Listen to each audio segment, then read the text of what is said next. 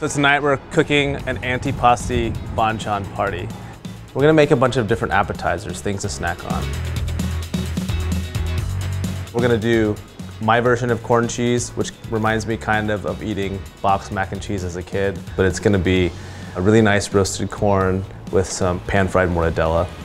We're going to do mozzarella and carrozza with bagna cauda. If like mozzarella sticks and grilled cheese had a baby.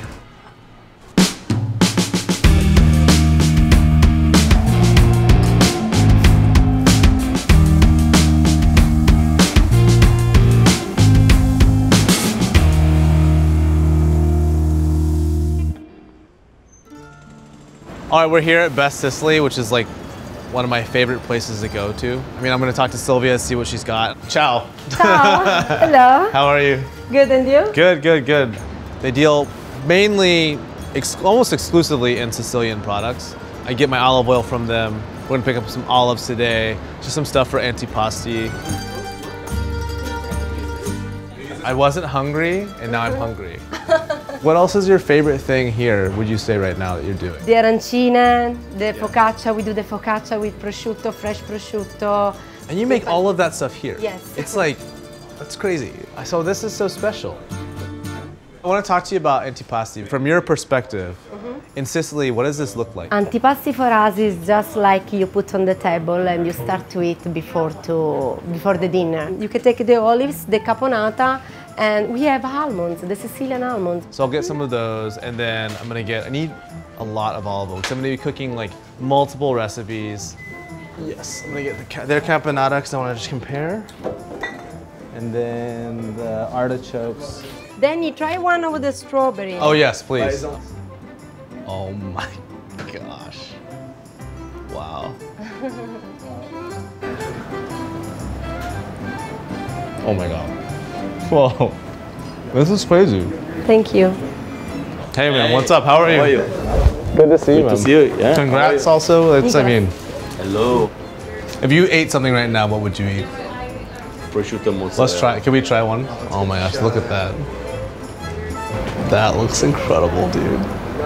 Oh my god, it smells amazing. Is there a little bechamel in here? Yeah. This is insane. What is it? It's so good. Yeah. Oh. This is my favorite. All right, see you guys. Ciao.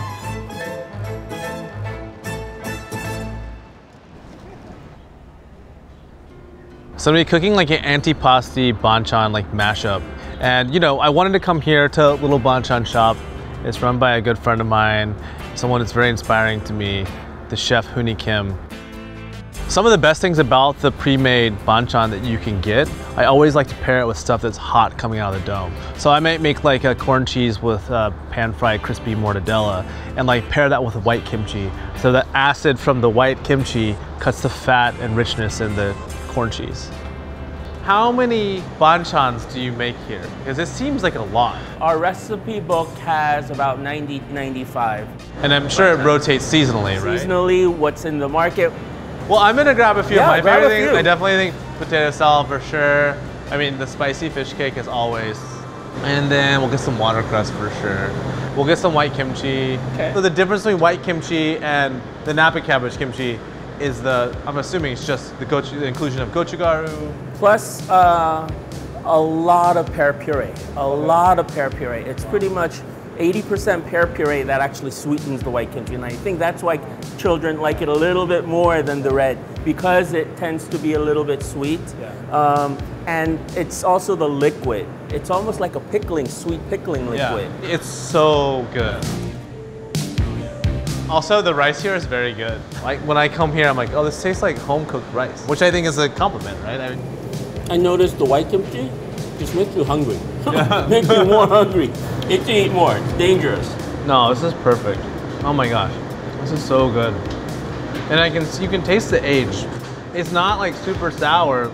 It's mellow, but bright. The technique of fermentation keeps this crispy and crunchy for longer. Wow. My mentor has 13-year-old kimchi in his fridge. My mentor is not a chef. Okay. He basically is an ancient Korean medicine man. Uh, Korean medicine isn't practiced anymore during the Japanese occupation. So he's one of the few families that actually still practices Korean medicine, which is using everyday foods to heal. It's funny, if you look at my fridge, it's like a mix of this and then like Italian stuff. It's fun, and that, that was the idea was like, I was like, wow, these, there are these two things about prepared foods that you have that you can reach to that you don't eat all of it right when you get it. I'm so inspired by what you do. And it's like, I'm so happy we got to run into each other again.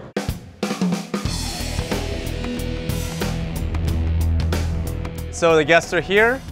Like any good dinner party, we're a few minutes behind. So I'm gonna start making corn cheese. One of my favorite things to eat, one of my favorite things to cook. Th- This is my favorite way to cook corn, um, and the dome is perfect for this. I like to take corn and cook it in its husk. I haven't soaked it, I haven't done anything to it. I just take the corn like this, and I put it right into an oven around like four to 500 degrees. And you're gonna cook it for about 15 to 20 minutes on each side. You'll start to smell it, and also you'll see this, the husk on the outside will almost char.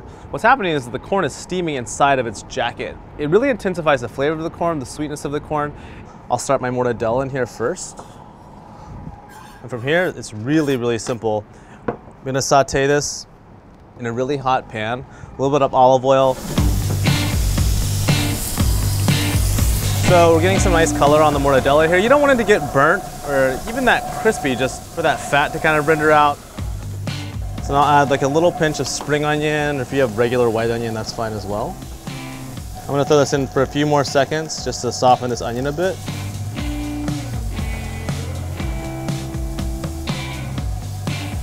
Onion softened, the mortadella is getting nice and crispy. And we're gonna stop that. We're gonna add the corn. I'm gonna kind of just crumble it up. And I'm gonna add a little bit more olive oil to the top of this. And just let this kind of go a little bit further. You can start to see the corn starting to barely color on the top. It's already cooked, so we're not really looking to cook it further. I'm gonna give it a nice squeeze of mayonnaise. And this is just mozzarella. It's low moisture part skim mozzarella. Yeah, so that's what you want. It's nice and crispy. You can see it's it's almost like a it is almost like mac and cheese how you know it kind of is you got that crispy cheese on the outside.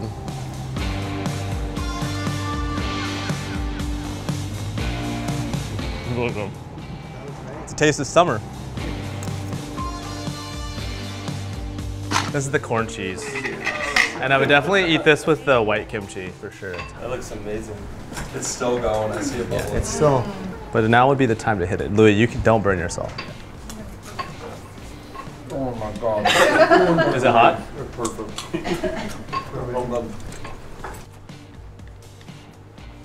It's like a fried bologna sandwich. okay, I'm gonna go make mozzarella and carrozza. Right. We're going to do mozzarella and carrozza with uh, bagna cauda. This one, my chef Paolo taught me how to make. He's Ligurian. I think this is like the best version of a grilled cheese you'll ever have in your life.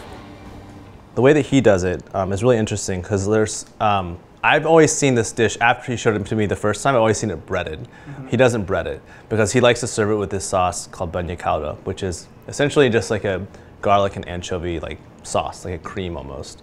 Mozzarella and carrozza is one of my favorite things in the world to eat. Historically, when I've had this, I've just had it with like white bread. This is a Pullman loaf, but it's got some polenta in it, and I love this specific. This is one of my favorite breads. It's from She Wolf Bakery here in New York City, and the polenta has like a nice like little bite to it. It's gonna just give a nice um, texture, a nice chew. It's a great way to use stale bread. Usually, I use stale bread for this. Put the top back on. I kind of like give it a little smush. I like to trim off the the corners here. So this is good to go. For the mozzarella and carrozza, I like to have some milk for soaking, some flour for dredging, and also some egg for dredging. Give it a little, really quick dunk in milk here. Yeah, it's kind of like making French toast where you're kind of creating this like custard. And this bread is very tender. So if it's stale bread, you want to soak a little longer. So I go with the flour on the edges, so right there. The cool thing about this is you can kind of, if you're making a bunch of these for a party or something, mm-hmm. you can take it as far as the, make the sandwiches, cut the crusts off, soak it in the milk, and then dredge it in the flour. So like I said previously, you can take them to this stage. The sandwich has been made, the edges have been cut off, the bread has been soaked in a little bit of milk, and then floured. Uh, my pan is like really hot. We're about like 600 degrees. I'm gonna add a good amount of oil here because we're gonna shallow fry this essentially, right? You wanna make sure that your oil is hot before you drop your sandwich in there. So from here, we'll take, go with the edges first, flip it over, and then right in.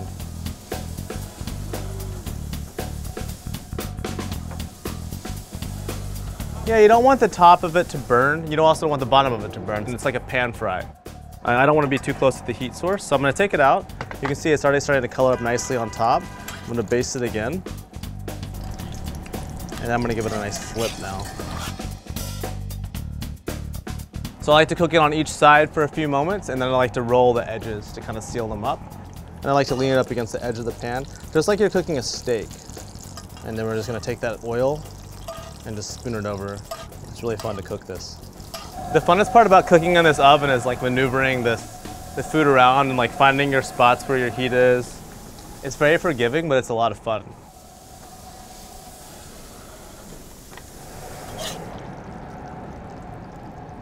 As that rests, we're gonna build our cauda. So I've got a piece of butter, a little bit of olive oil, and as that melts, I'm gonna add to that a couple cloves of garlic minced up, and a few pieces of anchovy. And these are just gonna melt into this butter. I'm gonna add some parsley here, a good handful of parsley. And now I'll add this back to the heat and allow this to kind of do its thing for the parsley to really bloom in there. And we'll take it out. I'm gonna add a touch of cream. And then we're gonna like park it right here on the little bench here and like allow it to kind of slowly do its thing. If you look at the cheese in this,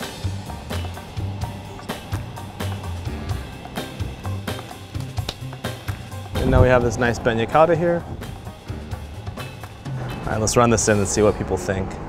This is the mozzarella and carrozza, so and you dip it in this. This is bagna cauda, which is like an anchovy cream.